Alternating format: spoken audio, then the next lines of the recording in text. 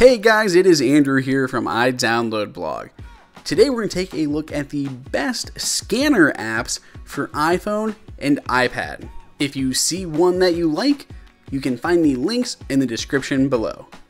The first up on our list and our number one scanning app is ScanBot. ScanBot is a really nicely laid out app and has a great modern looking UI with a lot of little touches. When you open it for the first time, it'll jump you straight into the scanner, or you can pull down or hit the plus button to take a new scan manually.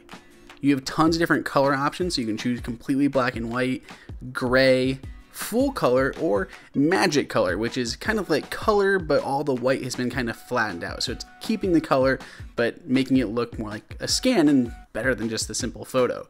It has OCR built in as well as automatic edge detection, so it'll crop and deal with your images for you. It'll also deal with perspective, so if you take it at a funky angle, it'll still line it up and make it a standard page. There are tons of different naming options. You can simply name it how you'd like, or you can just pull from all these different tags. It can even create tags based on your current location as well as your calendar appointments. If you don't see something you like, you can create your own templates within the app.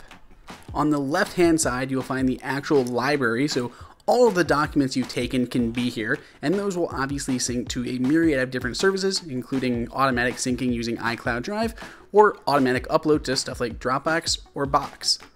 There are tons of different sharing options in workflows, so I can choose any of these different options or create my own workflows within the application. There are several different editing options, so I can highlight anything that I need to. I can simply erase my highlights.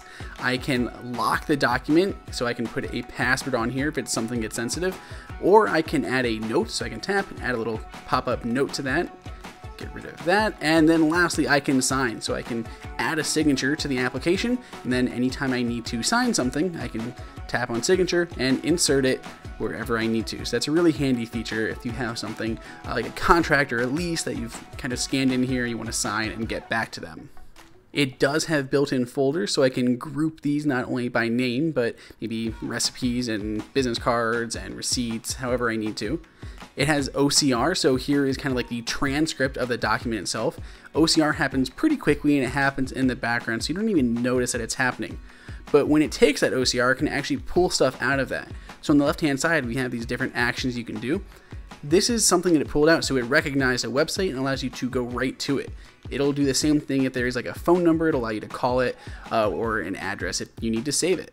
So ScanBot does come in as our number one application. You can pick it up for free or the pro version for many of these features for $4.99. Next up on the list is Scanner Pro from Readdle. Readdle makes a bunch of great apps, mostly for productivity, and this is no different. It works great, and it's an all around solid addition if you're looking for a good scanning app. Unfortunately, they left out some of the features because they kind of hope you'll pick out some of their other productivity apps. So you may not have as many editing options here, but that's because they want you to buy their PDF program where you can do much more uh, than you would in even something like ScanBot. There are some editing options like using correction to compensate for any skewing or perspective. You can adjust the edges, so it will do automatically detect those edges, but you can adjust it if you need to.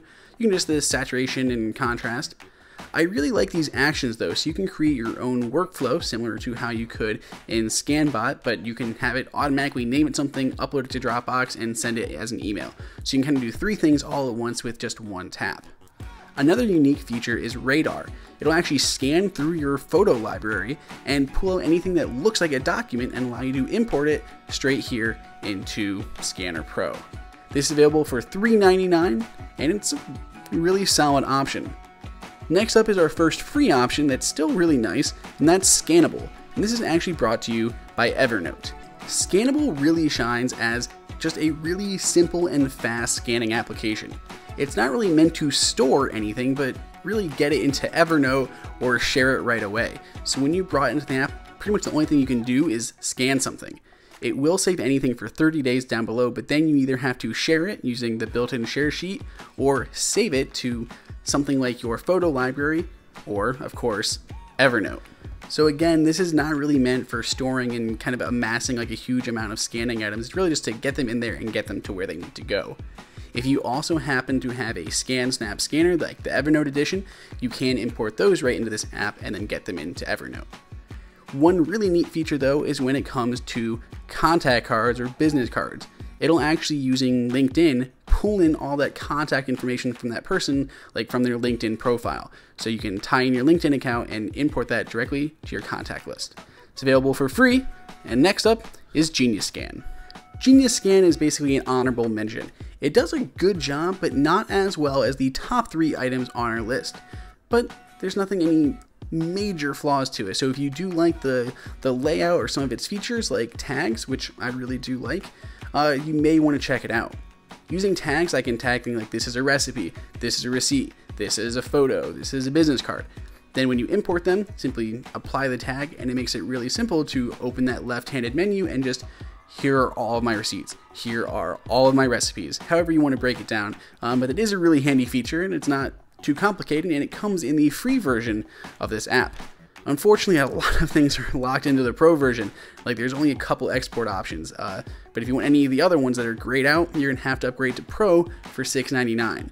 But there are a lot of other features in Pro, such as adding Touch ID, smart naming, and auto upload.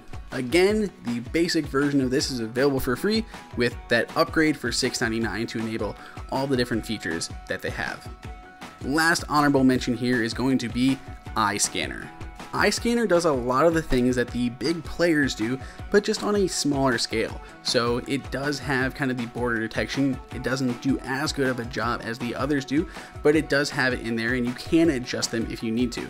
So here I just took that image and it attempted and did a really great job of finding where it was. It doesn't have the best kind of skew manipulation that the others do, but if you are at an odd angle, it can help you. It does have some built-in editing, so I can adjust the contrast a little bit, and I can choose between color, black and white, and grayscale. So you do have more than one option when you're importing these. Another nicely included feature is the ability to add a signature. So I can store it in the app, choose a color, and then basically just drag and drop it wherever I need to on the document itself. So that covers all of our recommendations for best scanning apps with ScanBot in number one. Then we have Scanner Pro, Scannable, and then Genius Scan and iScan are coming in with honorable mentions.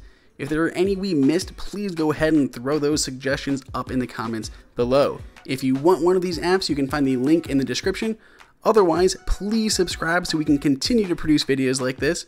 And until next time, this has been Andrew for iDownload Blog.